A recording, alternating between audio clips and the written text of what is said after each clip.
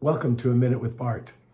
Artificial intelligence has become the sine qua non of power projection in the international space.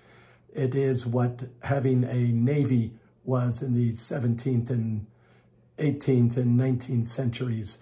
It's become what the what having an air force was for the 20th century.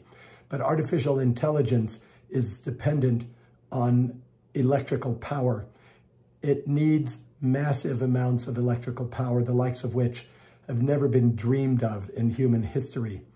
The nations that can produce sufficient electrical power will be able to build the data centers necessary to process information to generate effective artificial intelligence. And that means nuclear power.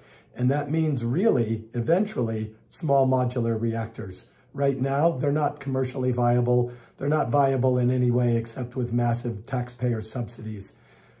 But the nation that comes up with building a small modular reactor that is cost effective and affordable is the nation that will control data centers and will control the computing power necessary to, to power the artificial intelligence revolution.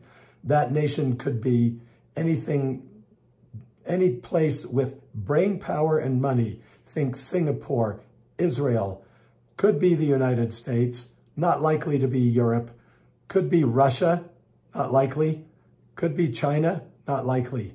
Look at the small nations with high brain power, the ones that win the Nobel Prizes. Those are the nations that will dominate the 21st century because they will dominate the electrical generating capacity necessary for artificial intelligence. That's a minute with Bart.